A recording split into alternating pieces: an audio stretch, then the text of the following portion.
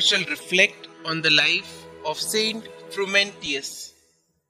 Frumentius and Ædesius were young Greek disciples of Meropius, a philosopher from Tyre in Phoenicia, whom they were reportedly accompanying on a voyage to India.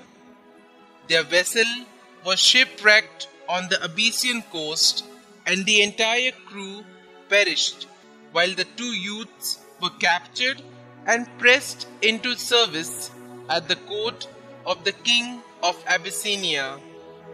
When they grew to manhood, they were given their liberty and assigned positions of trust. Saint Frumentius was even made royal administrator.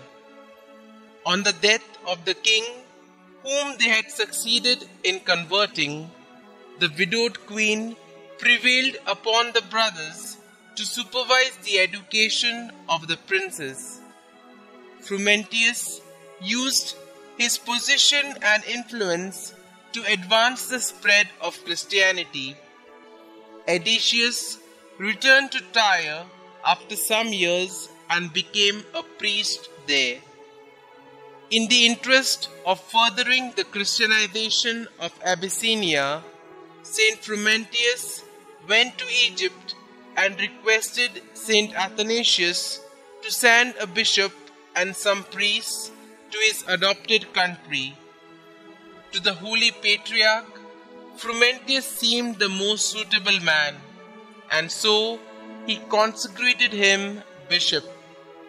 The see was established at Aksum, the young king was baptized, and many churches were built, and the faith spread all through the kingdom. Saint Frumentius is believed to have made the first translation of the New Testament into Ethiopian.